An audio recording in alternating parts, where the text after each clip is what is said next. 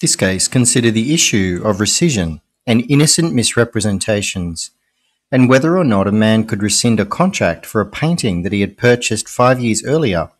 under the induced belief that the painting had been painted by a famous artist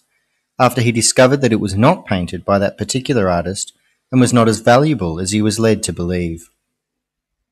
In this case, a man bought a painting from an art gallery after he was told by the gallery that it was painted by a famous artist. Five years later, the man attempted to sell the painting, but was informed that it was not in fact painted by that artist. The man brought an action against the gallery and sought rescission of the contract